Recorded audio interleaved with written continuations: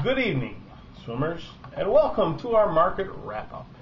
It is Wednesday, it is February 25th, 2009, and I am Joe Kinahan, Chief Derivative Strategist with Thinkorswim. Alright, let's take a quick look at what happened today. First of all, the Dow was down 80 points. The Dow was down 130 early, kind of came back, actually was up slightly on the day for a while, but in the end, in the last 20 minutes, really sold off hard. We had nine advancers. We had 21 decliners. Play a little theme song for tonight, a little American Girl by Tom Petty. Don't know why. Just in the mood to hear the song. Oh, I thought I'd play it. From, from last year's Super Bowl. American Girl, Tom Petty. After all, it was a great day. All right, let's go back to what we were talking about, which would be the market again. Nine advancers, 21 decliners today in the Dow. Our advancers led by GM, General Motors, you big dog, up almost 15% today.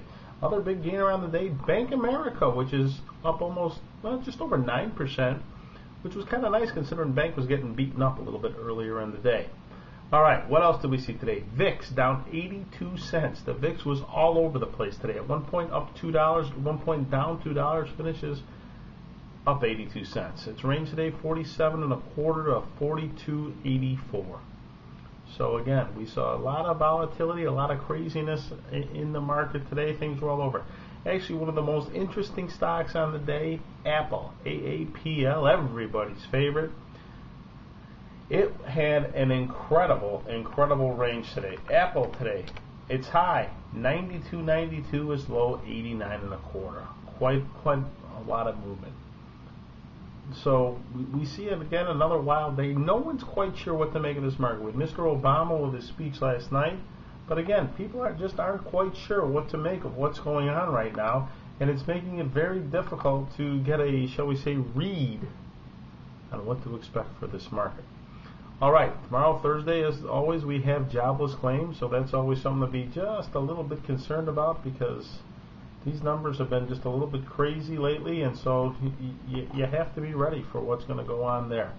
You know, the gold has been all over the place. Rates have been eh, kind of steady, actually, to be quite honest with you. Also, tomorrow we have durable goods. As I mentioned, we have jobless claims. We have new home sales tomorrow also. And then on Friday, we get the biggie with GDP. So, that's all for tonight. Sorry I've been gone for a little while. As always, good health, good trading. Thanks for joining us. I'm Joe Kinahan, Chief Trader Strategist with Thinkorswim. Have a great night, everyone. Thank you.